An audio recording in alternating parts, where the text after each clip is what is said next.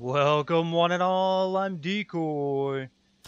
And we're back in 76. And I've got a really cool astronaut outfit for you today. And it's super easy to get. Won't cost you anything, except maybe a fast travel if you're trying to get close by. And I gotta say, it looks pretty freaking cool.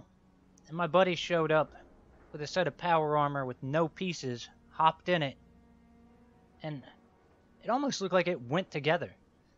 So if you're low level, that might be something you can do if you want to look cool in your power armor when it has nothing on it. So you're going to want to come to like the top middle of the map. There's going to be a crashed space station. Very important. You're going to find this piece right here. There's going to be a dead body, a little red canister, and the note on there is going to have the door code you're going to need. After you got that, you're going to want to go to the opposite side of where that's at. There's going to be a piece labeled C7. That's the storage unit. So again, come to the opposite side. You have to put your door code in. And then once you get in here, we got the lockers right here. The suits can spawn in the lockers. They can spawn on the ground in here.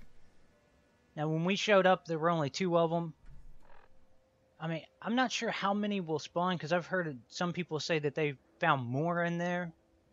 I don't know if it depends on how many people are in your group when you're there. Either way, free uh, astronaut suit, and that's all that matters. Now, I did pick up the 76 strategy guide, so if there's anything that you want to know, oh, where's this at, or anything like that, let me know. Hopefully you've enjoyed this. Please remember to like, sub, and share later.